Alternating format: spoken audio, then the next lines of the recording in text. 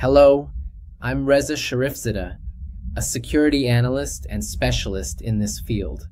In this video, I'm going to talk about a vulnerability that, if not the most impressive one you've ever seen in your life, I can promise you it'll be among the top three vulnerabilities you'll ever encounter. In this video, we're going to dive into how I managed to get into the infrastructure of one of the top five companies in the world in the tech and IT sector gaining access to over a hundred of their internal sites, being able to control them, extract information, make changes, or even take them offline. All right, to start off, let me introduce myself.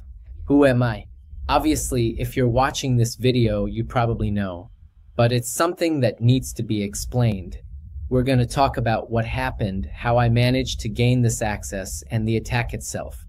Some parts of the video might be a bit heavy for you, and that's totally normal. We're dealing with some serious stuff here. We're talking about an issue that probably had more than 10,000 orders processed on it, so naturally, the attack that happened to it is also related to that.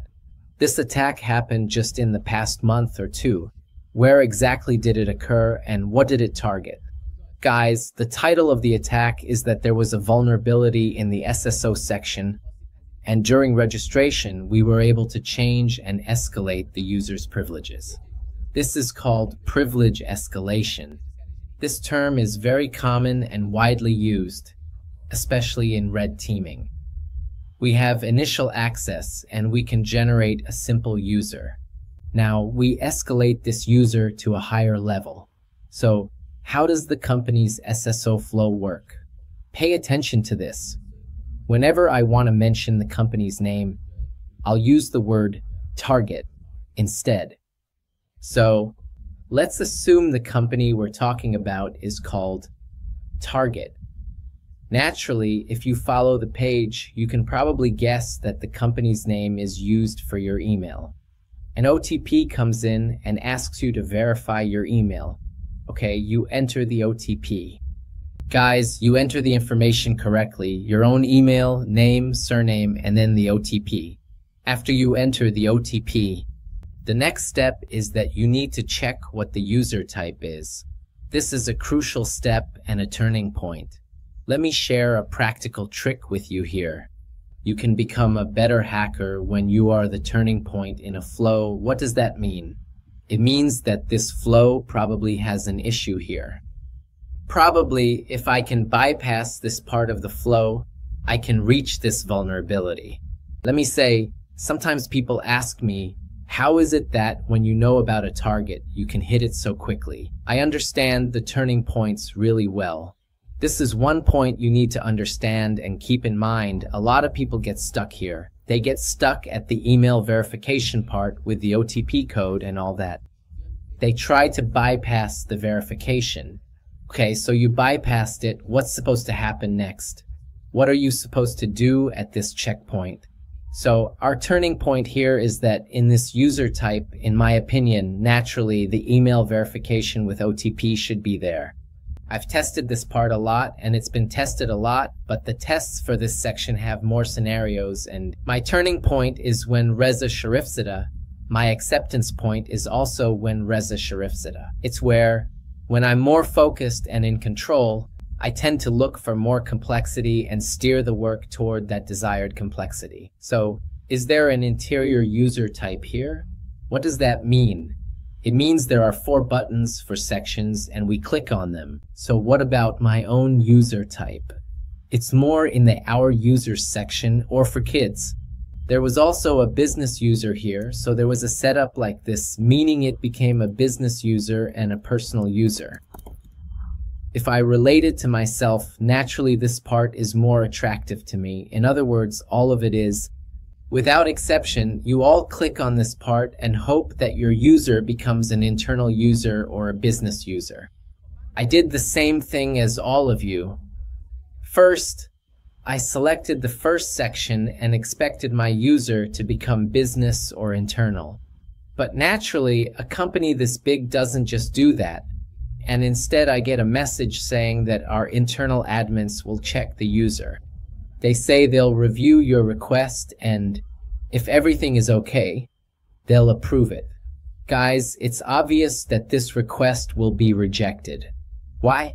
Because my email was from hotmail.com, my information was obviously fake, and other things like that, and verifying it isn't something that happens in an hour. So what did I look at next? I looked at this section where I'm creating a user type. Meaning, I requested that an admin or maybe an owner or internal user type be created for my email. So naturally, if it gets rejected, what happens then? Well, in my opinion, let's see what happens from Reza Sharifzadeh's perspective. If I first click on none and then hit the back button, the browser's back button, and then come and click on our users or business user. Guys, when they say out of the box, think about it. That's exactly what I mean when I first click on business user First of all, a create action is happening for the account.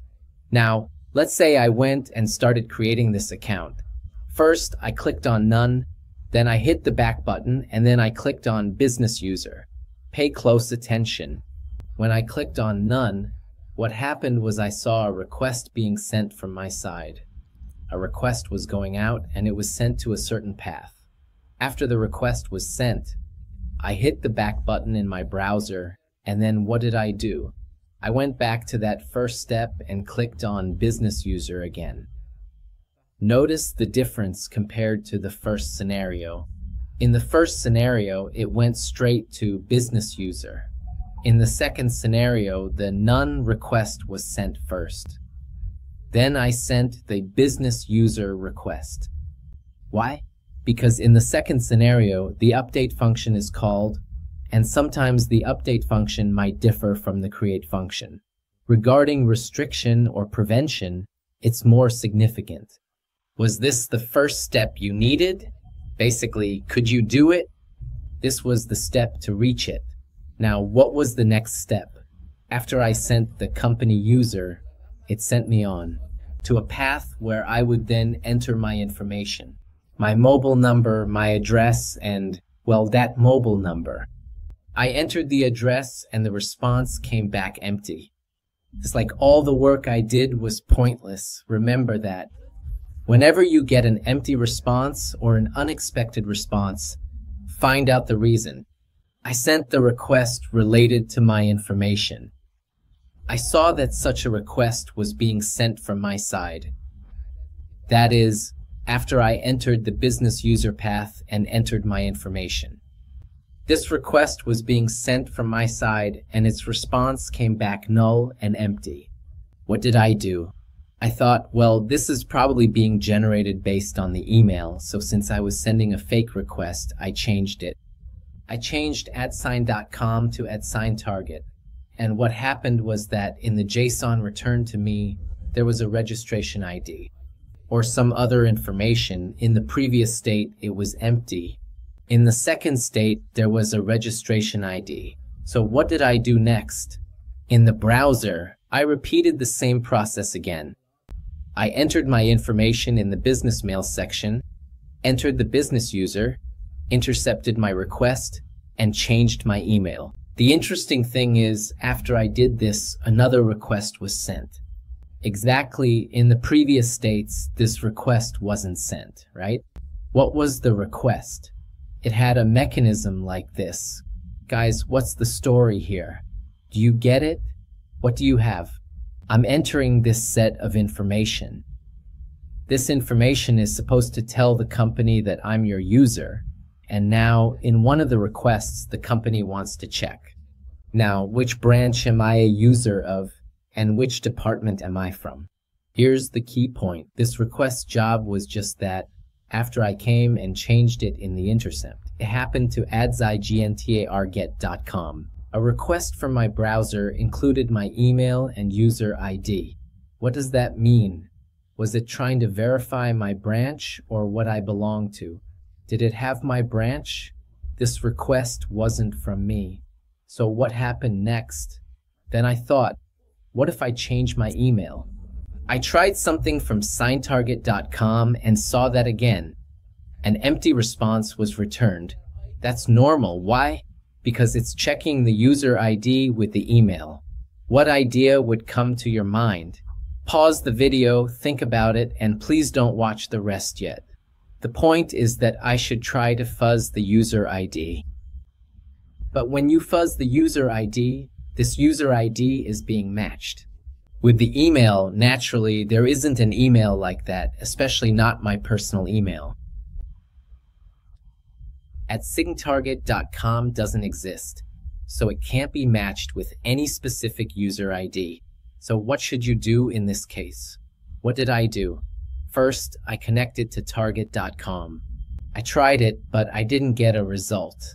Then I thought, okay, this email is being checked against that user ID. So what should you do?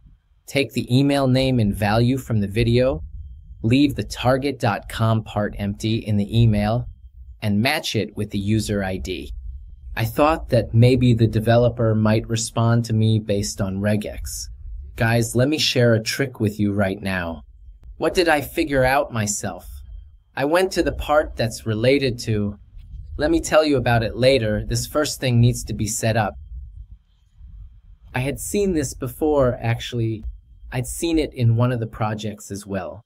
There was a project where the user information was returned based on email. For example, when my email was admin-admin-test.com, I would delete the admin part. I would just leave admin-test.com, and I had the same idea here as well. Basically, set the target there and let the user ID be phased in. One of the numbers, the information for one of the users, returned details like branch, position, and more. What did I do? I thought, okay, if I go back to the previous step and complete my information, complete my details.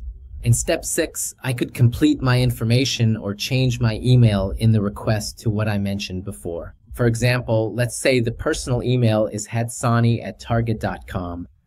Then in the second request, I come and replace it. The second step is when it's making the request.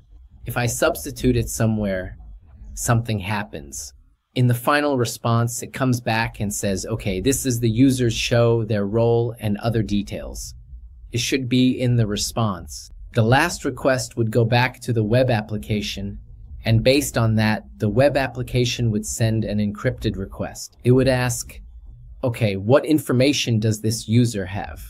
And in the end, I went through all these steps from the beginning. My browser's intercept was on, Burp Suite was running, and I went through it step by step. I made the changes for you line by line, step by step, and in the end, the message came up for me saying that we want to advertise to you. Has your user been registered? Guys, after I used my own email, that means all these changes, remember, were applied to this account. They were being applied to this account but I was making request after request. At the time when, guys, I logged in with this account and gained access to more than 100 internal levels. This attack is a combination of three to five different attacks. Of course, later on I found other different tricks to repeat it, which I can share in future videos if you support this one. It was a really, really complex attack. Let me just say that 27 comments were exchanged. Between me, the main bug triager, and that company's six different bug triagers reviewed the bug. They reviewed it thoroughly three times over. It was something really strange, and I tried to share it with you in this video. The impact of this vulnerability was huge. The CVSS score was 10 out of 10, to the point that I could have had access that would allow me to take certain things offline. Thanks for everything, and the scope change was really bizarre. I hope you enjoyed it. Some points from this video. What I hope you take away is to always remember, if you're creating something somewhere, or even just updating it, the opposite point, or even the parallel point, I can say. For example, if you're updating information during a create, test it as well. Are you creating the information? When you're updating, test that too. Always keep in mind that big companies, just because of their name, might have certain rules for you. That's why I used AdSigTarget, because of the flow of attacks. If you've made it this far, I'd really appreciate it if you leave me a comment and definitely, definitely hit that bell so you'll get notified about the next video. We've got a lot of cool programs coming up and there's a really exciting point. I'll tell you soon, I'm going to make a few tutorials like this one for you in video format. What does that mean? This is our own thing that's going to become a demo, right? Naturally, it'll be on YouTube in a seminar and a webinar that's being organized by our friends, and we're planning to have a really strong collaboration. I'm giving you the heads up now so you can be ready. Definitely, definitely remember to subscribe, and if you liked it, share the channel with your friends. See you in the next video.